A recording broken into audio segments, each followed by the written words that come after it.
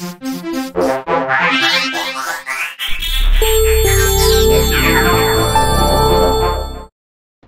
everyone, this video is designed to help you understand towing weights so you can tow safely, legally and efficiently. Came about because I posed some questions on my Facebook page about towing and they were really popular. It was seen by hundreds of thousands of people. So I thought I'd put together the questions and explanations of the answer into this YouTube video. It's important to understand this stuff because you run up against limits very quickly. As soon as you tow more than about 2,000 kilos in your average four-wheel drive, you're generally running up against one or more limits pretty quickly. Now I'm going to be using a bunch of terms like GCM, GTM and GVM. If you're not sure what they are, I do have other videos where they are explained. So I hope you find these videos useful and you're able to relate them to your real world towing um, experiences. And now on the questions. So question one, when we connect this trailer to the tow car, which limit, if any, will be exceeded. So we know the vehicle mass is 2800 kilos, the uh, gross trailer mass is 3100 and the tow ball mass is 300. We know that the gross vehicle mass is 3000, the GCM 1500, the, and that's the maximum the tow car and trailer can be, and the vehicle itself can tow no more than 3100 kilograms. So this is how it's worked out. First thing you do is work out the vehicle mass. Then you work out the trailer mass and then you work out the combined mass.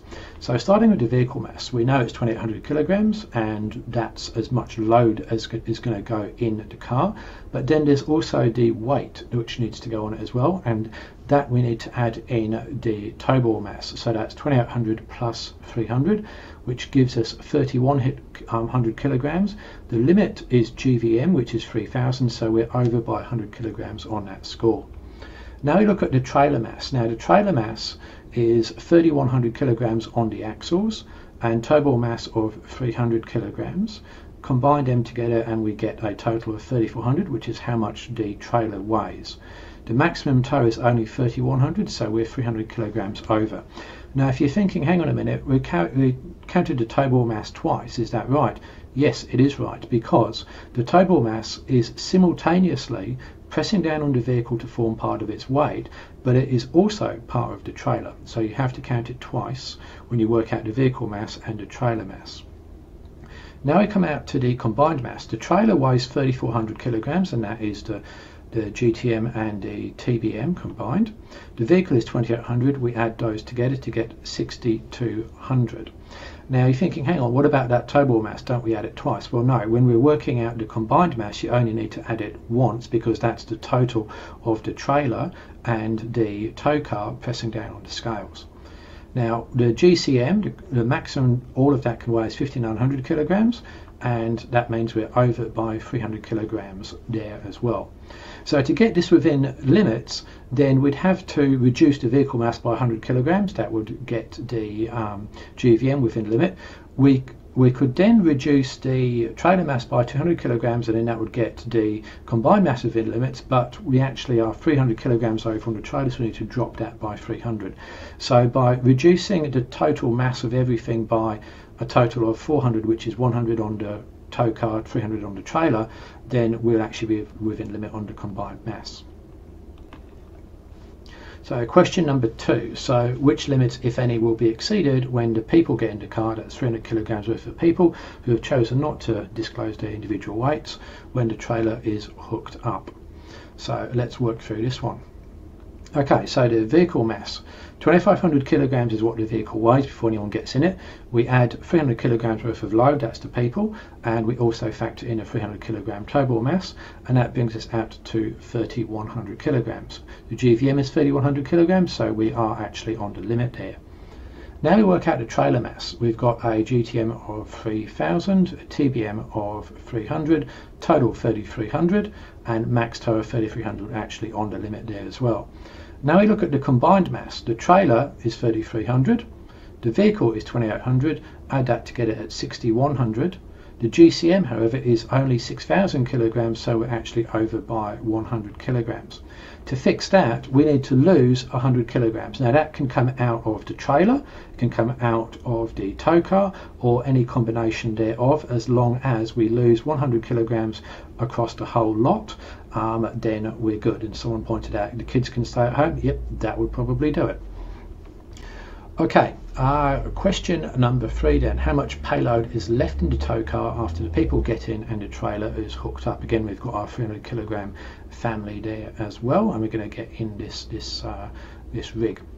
All right, so vehicle mass. Vehicle weighs 2100 kilograms this time, and we're going to add a 300 kilogram load into it, and we're going to account for a 300 kilogram tow ball mass, and that brings the total weight of the vehicle to 2700 kilograms. Um, we've got a GVM of 3,000 kilograms, so we're 300 kilograms under. So at first glance, it looks like we have a 300 kilogram payload, which is the difference between the GVM and how much you've loaded the car up. Now we work out the trailer mass as well. We've got GTM um, of 3000, TBM 300, add that together 3300, max tow 3300, so we're actually okay there as well, which is good. Now we work out the combined mass. We've got a trailer of 3,300. Now our vehicle weighs 2,400 kilograms, which is um, the 2100 base weight plus our 300 kilograms of people in it and we're also going to allow ourselves that 300 kilogram payload we calculated earlier on bringing the total to 2700 kilograms now uh, the tow ball mass is of course accounted for in the trailer weight so that brings us to 6,000 kilograms as a combined mass. Now the GCM is only 5,900 kilograms, so we're actually over by 100 kilograms. So what that means is we've got to reduce the weight of the combination by 100 kilograms and the easiest way to do that is to simply drop the payload down from the planned 300 kilograms to 200 kilograms. So what we're seeing there is the vehicle payload being limited by the tow ball mass so, so by the GCM as opposed to the GVM. Really important point. Now, what's interesting about that scenario is that the vehicle's payload is not limited by the vehicle's GVM, but by the GCM of that combination. So you've really got to look at every limit and figure out what the lowest one is, and then that's the one you've got to run with. Okay, number four what limit, if any, will be exceeded when this gets hooked up. Now, changing a couple of things here. So I'm just giving the ATM, which is the total weight of the trailer, and we're saying that, that and that's normally what, what you would get when you're looking at a lot of this stuff. Not always, but, but sometimes. Um, and the TBM is 10% of the ATM. Now, there's also a bit more data here. We're going to get into front and rear axle loads, and we're saying that the vehicle mass is 2650, and it's split 50-50 front and rear, and each axle load has a load limit which you cannot exceed, and it's really the rear axle that's important in towing here. I'm also giving the wheelbase and the rear axle hitch. Now, if you're not sure what a wheelbase is or, or things like that, I do have another video on that which I'll link to. All right, let, us work through um, how this is going to figure out.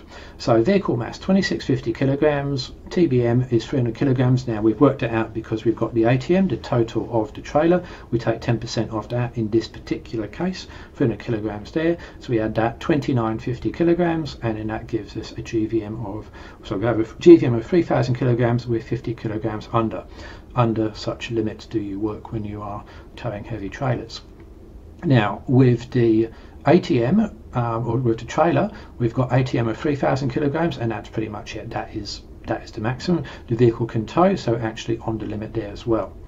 On the combined mass, we've got a trailer of 3,000 kilograms. We've got a vehicle that weighs 2650. Again, the tow ball mass is included in the in the trailer, um, and we add that together, we get 5650. GCM of 6,000. We are fairly significantly under 350 kilograms under, so happy days there. Now we come to the rear axle mass, which I haven't mentioned before because it's easier just to understand the other three before we get into the complication of the rear axle mass, but yes, that is important too.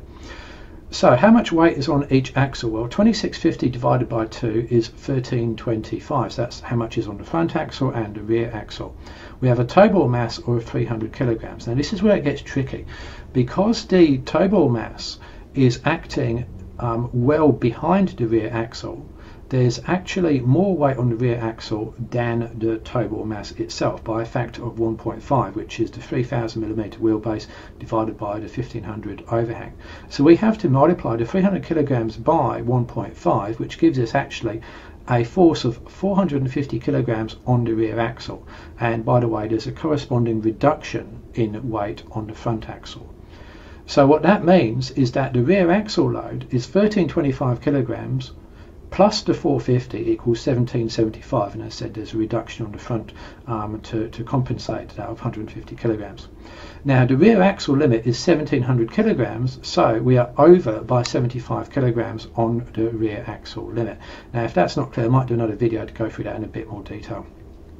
So in this situation, we have exceeded the rear axle load, but everything else within limits. To fix that, we need to reduce the tow ball mass by 50 kilograms, which has the effect of reducing by 75, or just remove 75 kilograms on the rear axle. Again, maybe kids stay at home or something um, like that, and then you're back within limits.